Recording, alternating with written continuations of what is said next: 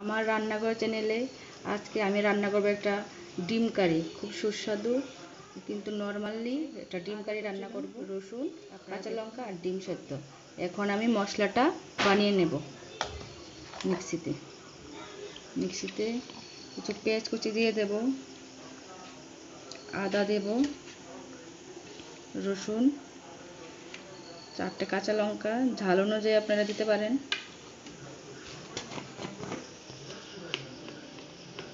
দেব, একটু জিরে গুঁড়ো।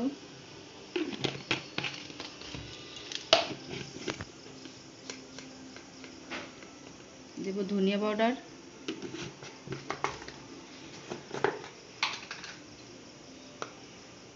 আর একটু লঙ্কা গুঁড়ো।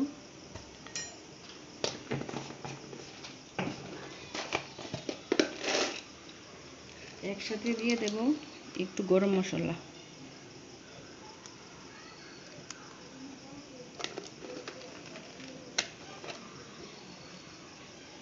দুটো এলাচ এ দিয়ে আমি মশলাটা তৈরি করে নেব।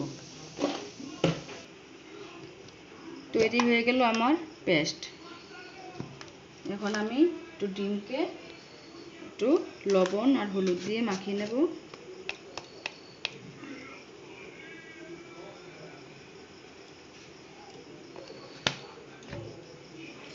আর আপনারা ডিমটাকে একটু মাঝখান দিয়ে ভেবে চিড়ে চিড়ে দেবেন, তাহলে মশলাটা ভিতরে যাবে।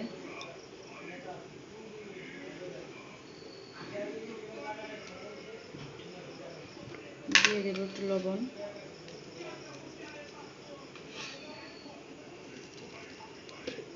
এখন আমি আমার প্যান বসিয়ে দিয়েছি।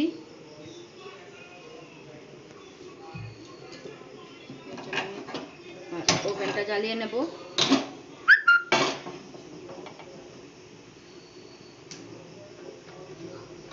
ওভেন আমার গরম হয়ে গেছে, এখন দিয়ে দেব একটু পরিমাণ মতো সানফ্লাওয়ার অয়েল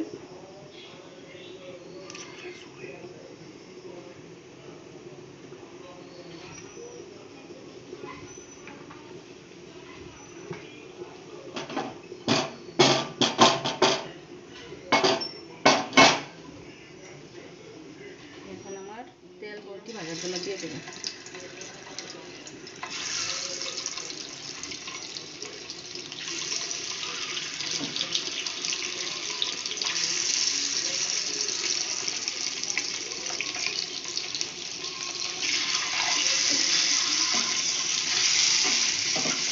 আমি একটু হালকা লাল লাল করে ডিমটি ভেজে নেব।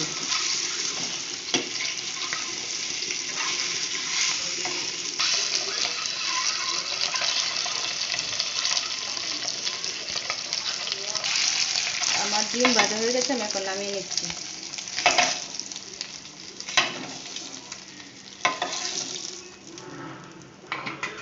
দিয়ে দেবো আর একটু সামান্য তেল।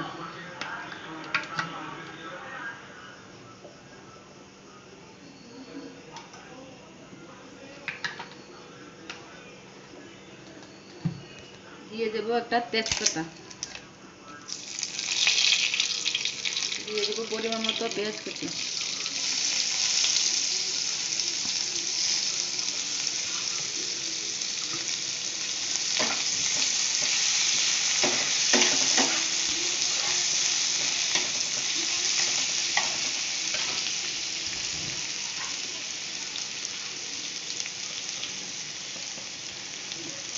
দিয়ে দেবো একটু লবণ।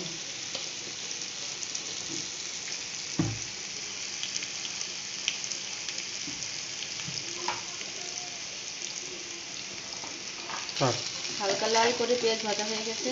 এখন দিয়ে দেবো মশলা পেস্ট।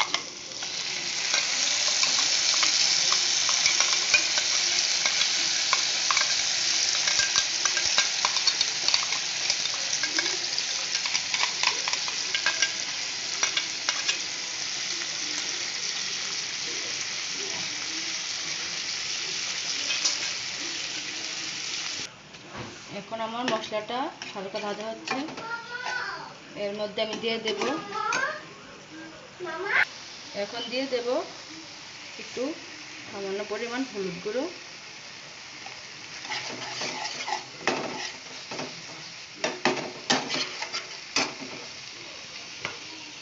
আজ আমার ঘরে টমেটো নেই, তাই আমি একটু টমেটো কেচাপ দিয়ে দেবো।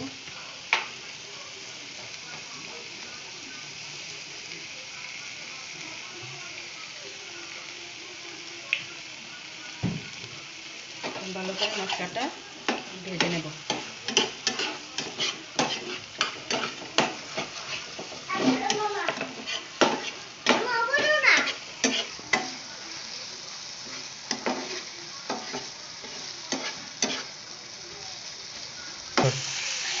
এখন আমার মশলা ভাজা হয়ে গেছে। তেল, সাইড দিয়ে বার হতে লাগে এখন দিয়ে দেবো ঝোল একটু গ্রেভিটা বেশি রাখব, কারণ আমাদের ঘরে আজকে আর কোনো সবজি নেই। এখানে হচ্ছে ডিমের ঝোল, এখানে গরম ভাত গাছ রাত্রে খাওয়া। আমার ঝোল ফুটে এসেছে, আমি এখন ডিমগুলি দিয়ে দেবো।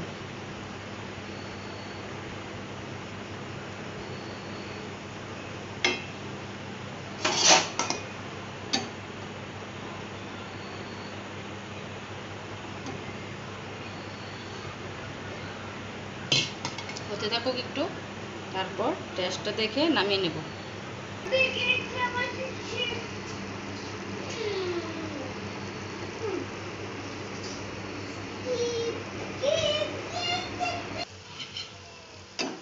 একটু আমি গ্রেভিটা একটু বেশি রাখছি, কারণ আমাদের ঘরে তো চারজন মেম্বার আজকে আর রাত্রে আর কোনো কিছু নেই। তার জন্য আর ভাতের সঙ্গে আলু সিদ্ধ দিয়েছি, আর এখানে ডিম কারি। শুকনো শুকনো হলে ভালো হতো, কিন্তু এইভাবে টেস্ট হয়েছে। তৈরি হয়ে গেছে আমার ডিম কারি।